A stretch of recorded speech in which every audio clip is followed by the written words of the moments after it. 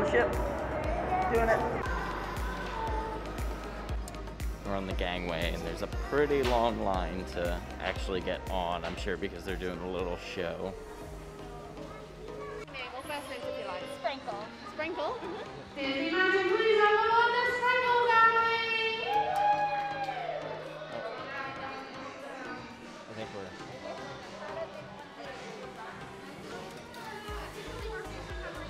Disney Magic, please welcome aboard the Thompson family!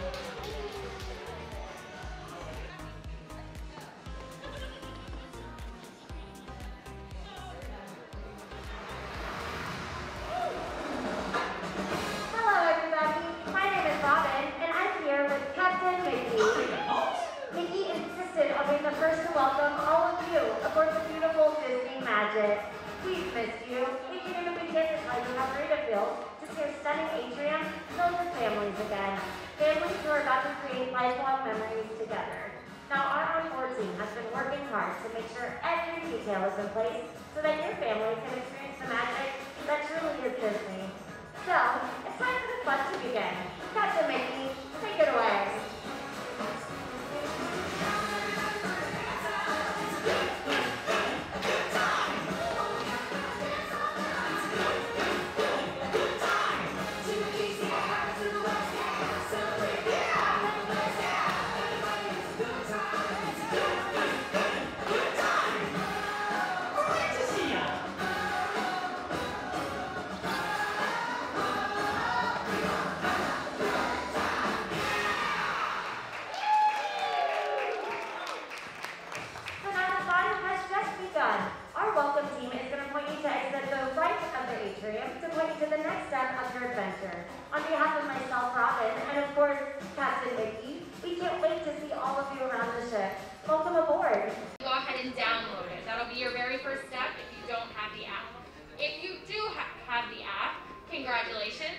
You've already finished.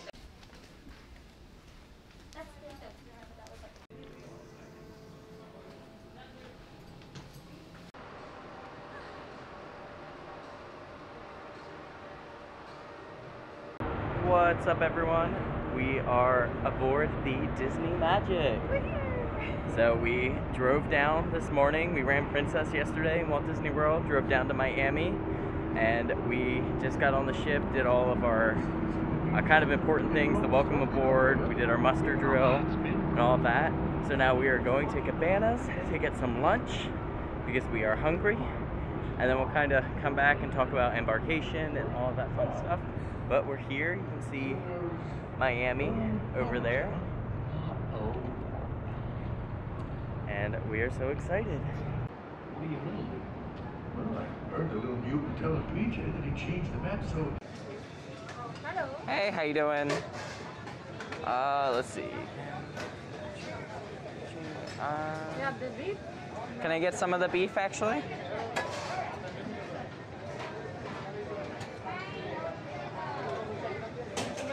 And then, can I get some of the mac and cheese and some of the chicken?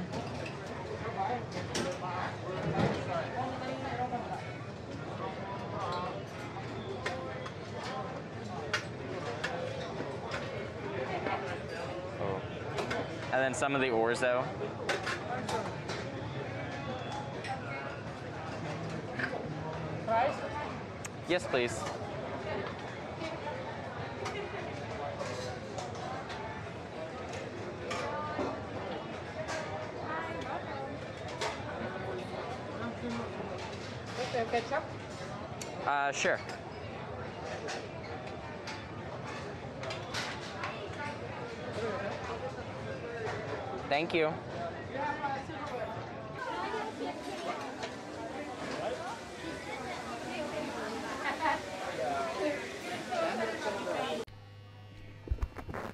All right, so we are at our room. Our key to the world cards are in the little fish extender. You wanna pull that out there? We have seven five zero zero. And here we go. Now, right when you walk in, we have the split bathroom, little shelf up there. And then on this side, we have the other sink, along with the uh, shower. And then this is our room. It is a, uh, it's an ocean view. I don't remember what the category is. See we have the bed on the left side here. And then we have the seat, little table, and the TV, and all the storage options. And let's see. Got the one breakfast card. Still no uh, stationery in here. And then we have one porthole here. It's pretty decent size. Yeah. There's a fridge down here. Oh. Fridge.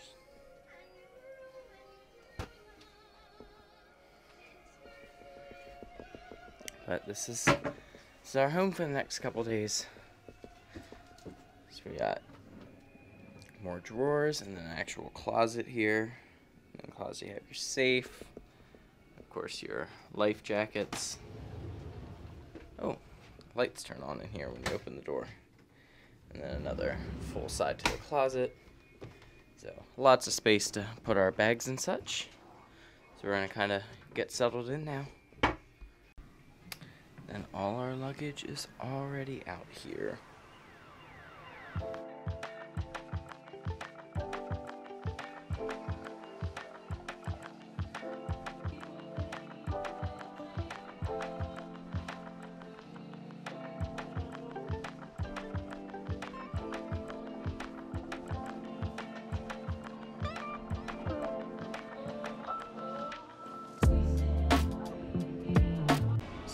We're here at Terminal C. This was where we boarded. And then that's the Terminal C parking, but they parked us at G, which is not the next parking garage building you can see, but it's way down on the, like, almost around the corner basically by the Virgin Voyages building. Uh, which is probably like your best indication because it's like kind of a cool, like newest looking building of these here but yeah, it's like all the way down. It's like three parking garages down basically. So that was a little confusing this morning.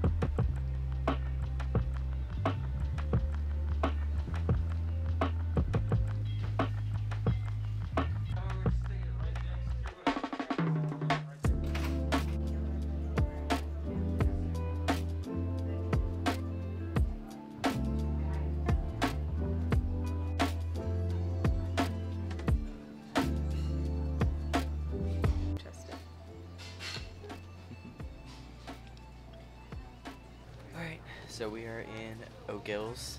Uh, we kind of just ended up down here for the safety drill and then stayed down here and got some drinks.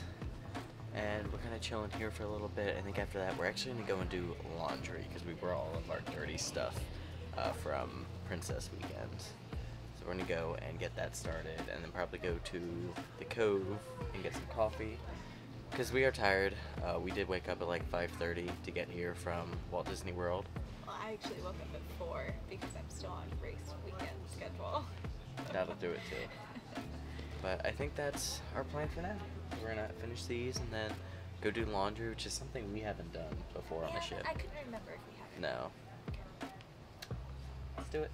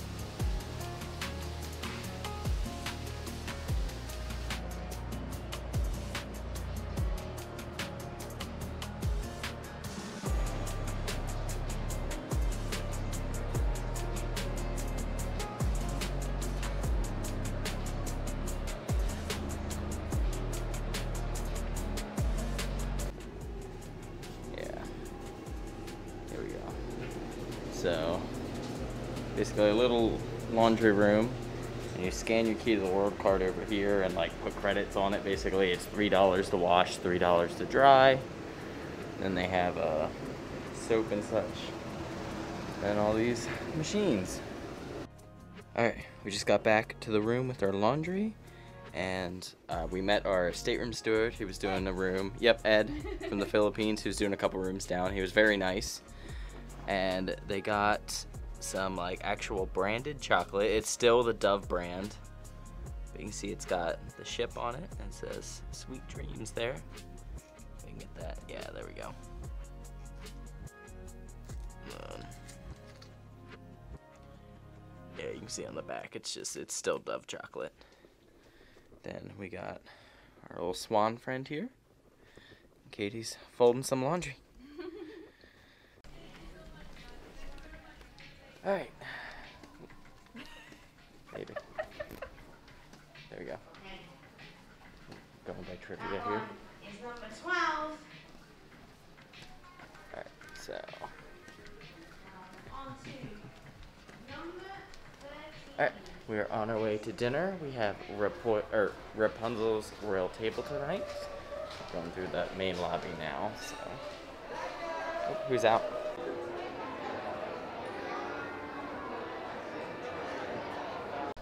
Okay, stop.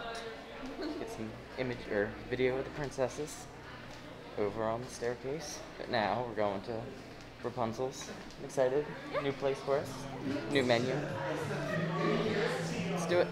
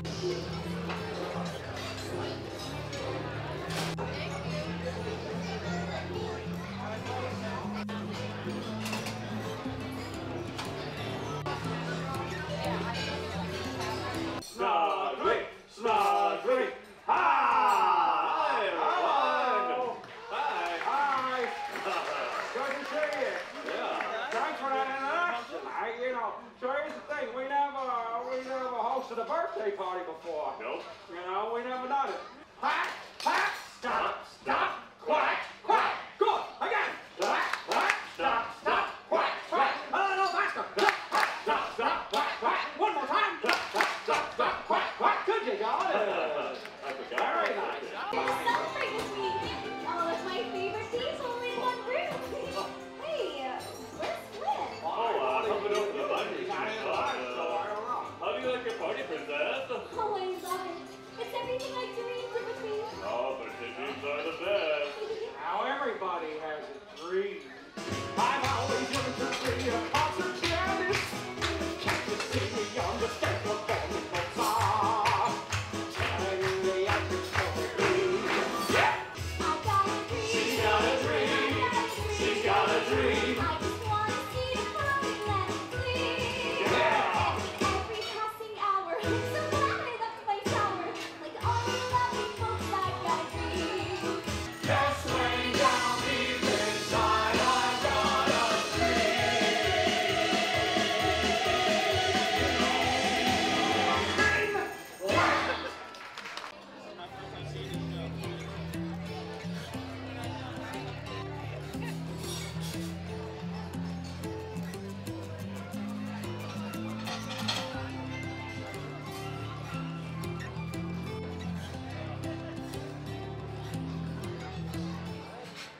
Princess that I'm seeing those floating lights, I never would have met you. In fact, do you want to know where I really was and why I was late? Yes.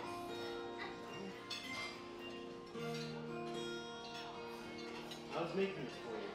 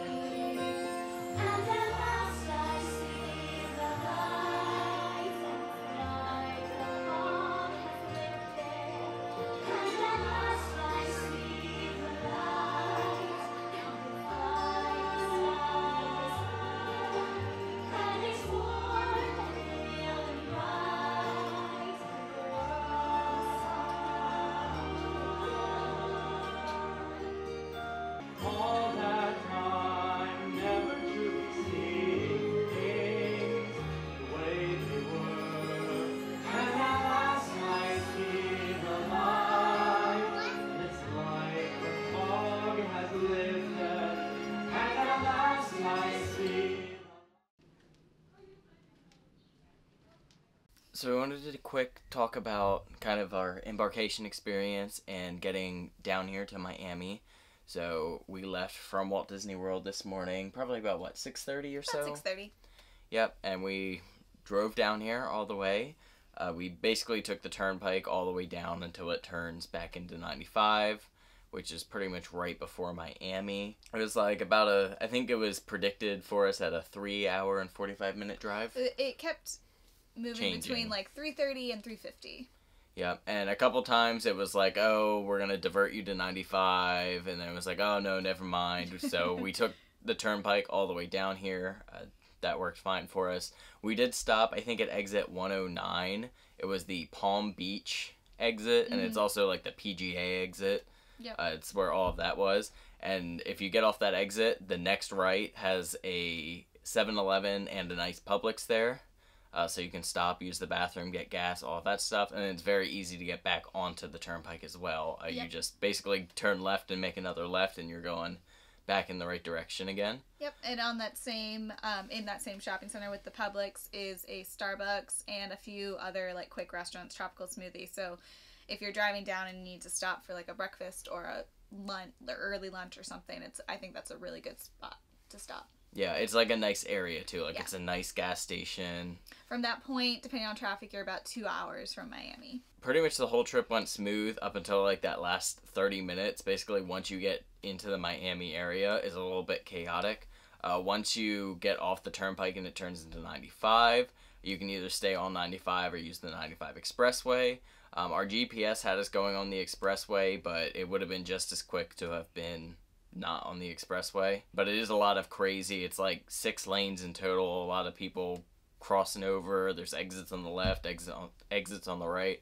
Uh, so it is a little bit uh, stressful, especially if you don't prefer to drive like us. Yep. and then getting into the terminal was a little bit frustrating. It is kind of cool, like once you get off of all the craziness of 95, you go over a bridge and you can see uh, where the port is, and you can see all the ships lined up, and it's on your right, and you can with the water there. And then you go down under a tunnel, and when you come back out of that tunnel, uh, you're right there, and all the ships are on your left. They had lots of like different spots kind of blocked off, uh, so you know they had you saying, "Oh, you need to be in the far left lane," and then all of a sudden that lane they had coned off, so you had to get back over in a lane. Uh, we got to the ship and basically like missed the porters the first time and had to do a loop to get to the porters.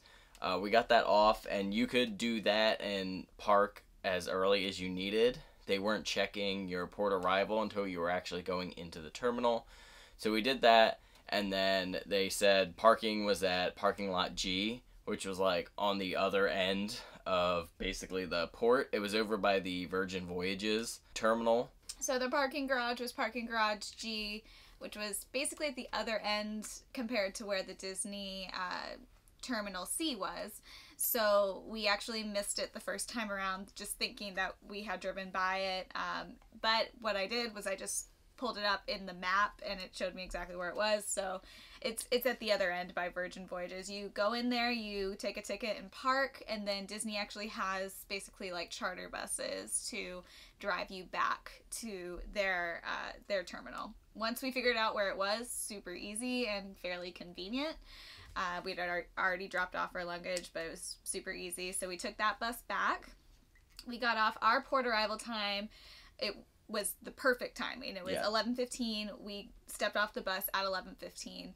It was a little confusing because there were no Disney people out there kind of telling you what to do, but some other guests told us, "Oh, they're calling port arrival times. They're on 11:15 right now." So we, you know, went right into the building. Um, everyone else was just kind of waiting outside the building. Yeah, there wasn't any like benches or anything. It was kind of just people trying to find whatever shade they could stand in. Yeah, so I think Disney's intention is for you to get to that building at your port arrival time. So all these people who are early, I don't think Disney really wanted them standing there, but they didn't do anything about it. So uh, once you get inside the building, they scan your port arrival sheet and you go through security. Very easy process, uh, very pleasant workers, uh, port workers doing that.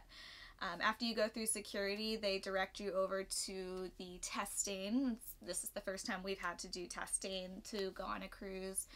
this part was probably the most chaotic part, I think, of getting onto the ship, or maybe the most crowded in the room waiting for testing was like the longest queue. I think the most crowded, they give you your test kit and then you can see the line snakes a little bit. It really wasn't that long. We waited, I think, 15 minutes, Mhm. which wasn't bad. Uh, but there's a lot of like things they want you to do and then things they don't want you to do, and they're all kind of just shouting it and they're like, stay six feet apart as they're handing out tests and kind of like throwing people into the queue. So I don't know. They just didn't really have it together there. Otherwise, testing was easy. Once we got to the like little area, they have kind of private sectionals there. Uh, so your family goes in, and then there were two people there to help guide you through taking the test. They basically just give you the stick. They say shove it up both your nostrils, and then Well, they didn't say it like that. They said swab each nostril five times very nicely. Yeah. Gave it back to them. They take it from there, and then uh, they send you uh, to the waiting area. Yep. Um, we waited about 15 minutes and then got our clear to sail. It was really, really quick. yeah, ours was very quick. And it seemed like most people were going quick because the people who were sitting around us who like came in around the same time we did got them around the same time we did. So they seemed to have this process going very well, very smoothly. After that, we went through and did the actual check in where they go and check your passport and scan all that. And they said, all right, you're clear to go aboard. Uh, there was a little bit of a line in the gangway because they are still doing the welcome aboard show right when you enter with the 10 circles or however many are in this lobby. I didn't count. Total time from arriving 11:15 to checking in and getting onto the gangway was just about an hour and then the gangway wait time was about another 20 minutes. It really was the other longest part of our getting on the ship. Yep.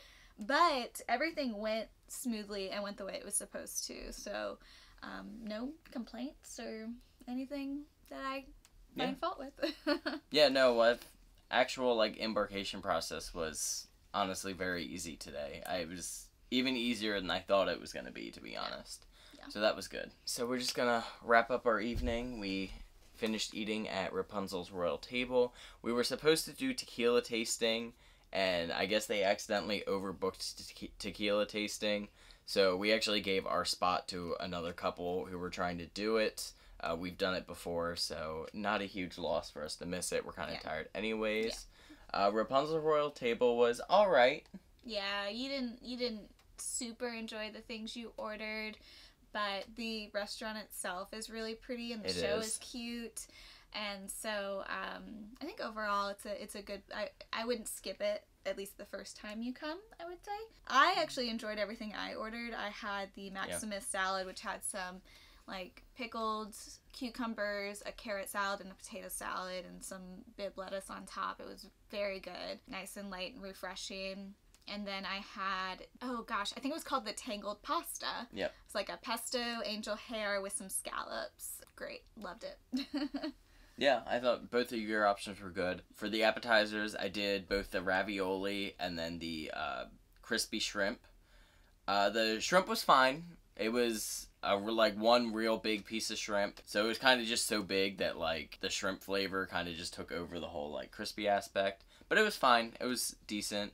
Uh, the ravioli was not good, to be honest. Like it was like borderline cold, but you could tell it was supposed to be hot. And then I had the uh, potato soup, uh, and it had like sau- it had sausage bits in it. That was actually good. I enjoyed the soup. That was probably my favorite thing from the meal, actually. For my main, I got the Prime rib.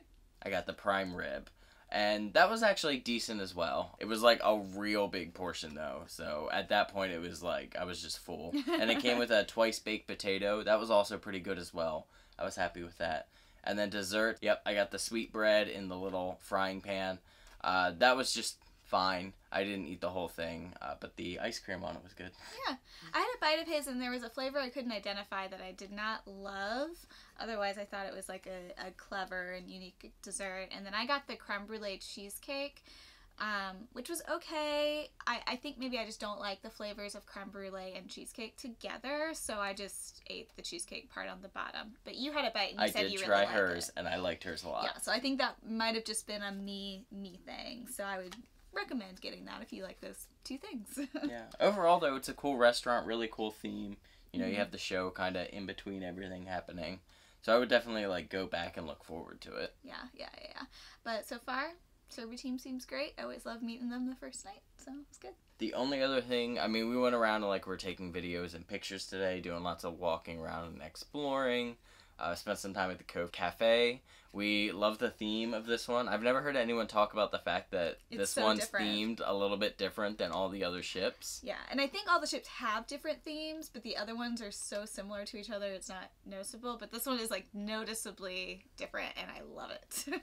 Yeah, it's kind of like I think some of those just like quirky things that you find because this is the first ship.